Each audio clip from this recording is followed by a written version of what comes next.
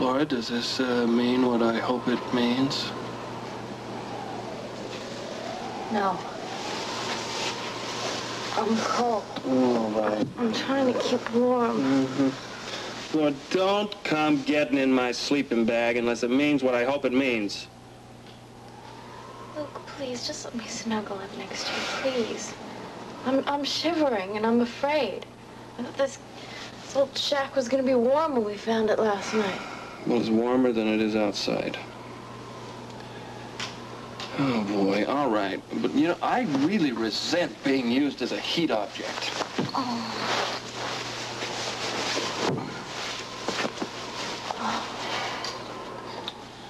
Oh, I'm so worried about that man in the barn. I sure hope Hutch got out of there all right. What about Ramsey? Luke, I'm sure that he's still following us. And there's got to be someone waiting right outside that door to kill us. There are so many questions going to... I know. I have a lot of questions, too, but I don't have any answers. Stay warm. Right now, what most concerns me is that trail we left in the mud a mile wide. It'll make it a lot easier for anybody who wants to find us. Mm, that's nice. I'm starting to warm up now. Yes, I know. So am I.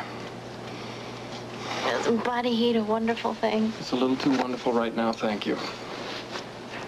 Laura, I am really a chump, you know? I mean, uh, you're not gonna let me make love to you because you got these stupid hang-ups about your marriage vows, and, and then you come wiggling your way into my sleeping bag. I was cold. Right, and what do you what do you expect? That I'm not gonna get turned on? Go to sleep. I can't sleep like this. I'm very comfortable and I'm ready to go to sleep, so go to sleep. Oh, no, you don't. No, no, no. You can snuggle up to the Sandman in your own bag. What? Yeah. What are you doing? Throwing me out? Pushing you out. You got it. I'm not going to play this game, Laura Baldwin. No more. Uh-uh. When you want to make love, you give me a ring. You can get in my bag. Otherwise, good night. That's really lousy of you. Oh, sorry, but it's self-preservation and self-esteem. You're not going to use me like this. I'm sorry, but no way. Uh-uh. Okay, then. Just forget it. Luke, my sleeping bag is damp. Gee, that's too bad. Mine's real warm. This sleeping bag is clammy, Luke. Well, when you're ready for the honeymoon bag, climb in. Sweet dreams, darling. No, you don't. No, you don't. If I can't sleep, then neither can you. Come on, get up. Can't we, uh, we can build a fire in that fireplace there. Sure, why don't we set the whole damn place on fire? Can you think of any other ways to attract attention to ourselves?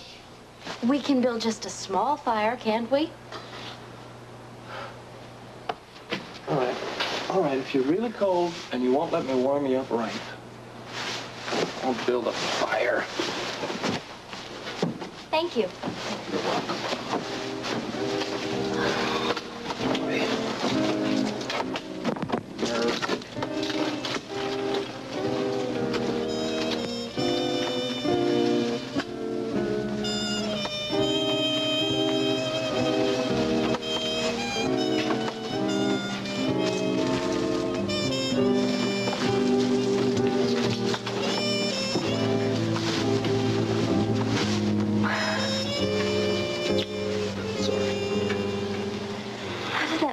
That man manage to find us? I don't know, baby.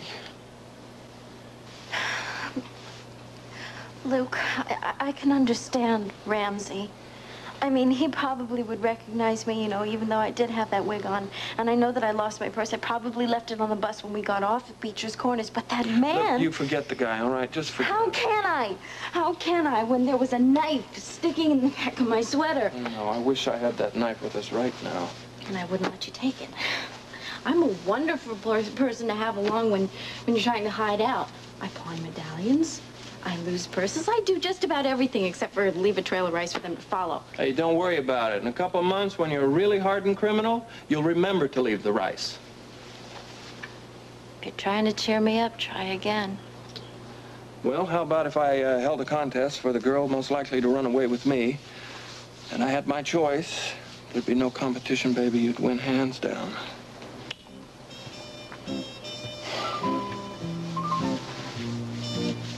Okay? I'm gonna start a fire. Thanks.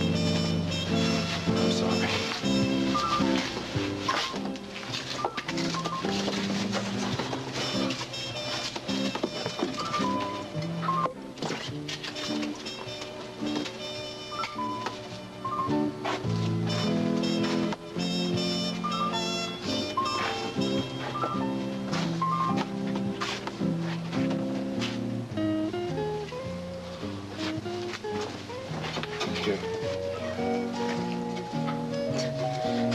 Wig really is a mess. You know what I think? I think maybe I should just uh, restyle it so that nobody from Beecher's Corners can give an accurate description of me. Hey, Monsieur Robert at your service. Oh, no, no. Oh, you yes. gotta be kidding. No, no, I, uh, I just happen to have a little knife with me.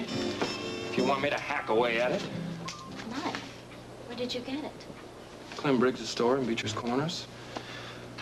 Look, Laura, we had to have something. We had to. Yeah, I guess that's true. All right. Tell you what, put on your shoes. And uh, I can't start a fire till we go get some firewood. Maybe we can find something dry. All right? Can you do that? Yeah.